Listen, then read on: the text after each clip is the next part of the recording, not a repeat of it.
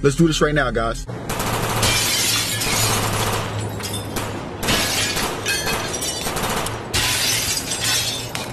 Yo, guys, I just did it. Guys, I just shot up Chuck E. Cheese, guys. I gotta hurry up and get up out of here right now. That was crazy. I, I think I, I'm pretty sure I hit Chuck E. Cheese, guys. I'm pretty sure I hit some.